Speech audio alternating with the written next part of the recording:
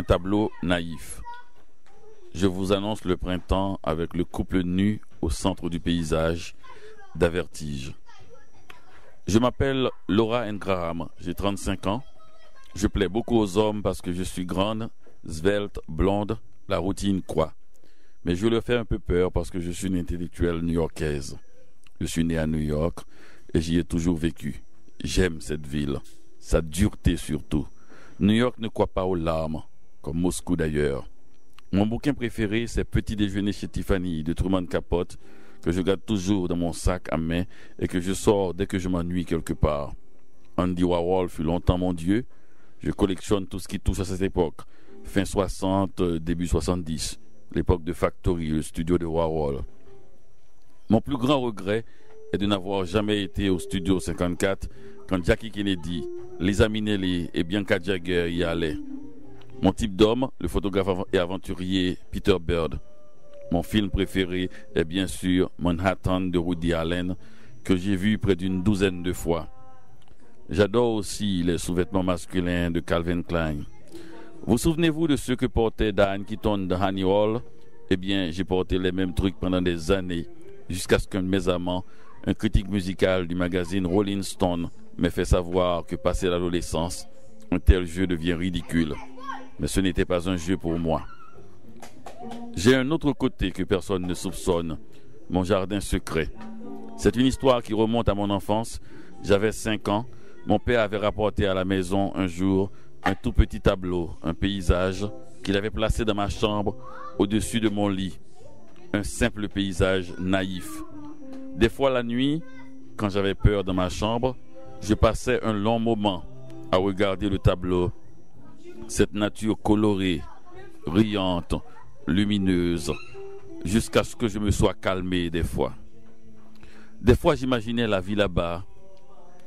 Si j'étais né dans un pareil endroit et non à Manhattan, mais j'ai besoin des deux, mon paysage réel et mon paysage imaginaire. Manhattan m'excite et ce paysage me calme.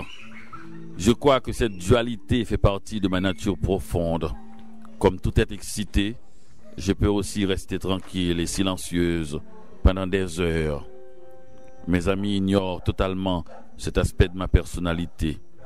Ils ne connaissent que cette fille capable en un seul après-midi de passer plus de deux heures chez Bloomingdale à chercher une écharpe qu'elle portera un cocktail plus tard pour filer tout de suite après à Queens à cette soirée chez d'excellents amis avant d'aller finir la soirée dans une nouvelle boîte de nuit de Long Island. Quelle que soit l'heure, je ne rentre jamais me coucher sans prendre la peine de passer acheter quelques bagels chauds sur Park Avenue. C'est cette fille urbaine jusqu'au bout des ongles que mes amis même les plus proches connaissent. Alors que je peux être aussi cette paysanne qui se lève le matin au champ du coq pour aller pieds nus dans la rosée, ramasser les fruits mûrs tombés durant la nuit. Je suis schizophrène comme la majorité des habitants de cette ville. Quand j'ai quitté la maison familiale pour aller louer ce studio près de l'université Columbia, je n'ai emporté avec moi que ce paysage.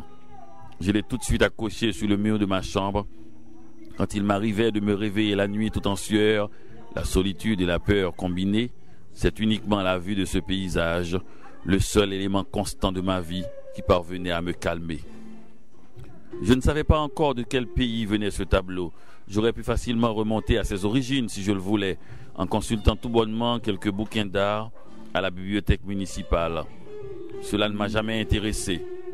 Ce paysage existe de manière si concrète pour moi que je n'ai jamais pensé le rattacher à un pays, sauf le pays intérieur. Mais celui-là, je le transporte partout avec moi. J'avais rendez-vous avec une vieille copine à ce bar, pas loin du MoMA, le musée d'art moderne de New York. Comme j'étais arrivé beaucoup trop tôt, une manie chez moi, je suis allé passer le temps au musée.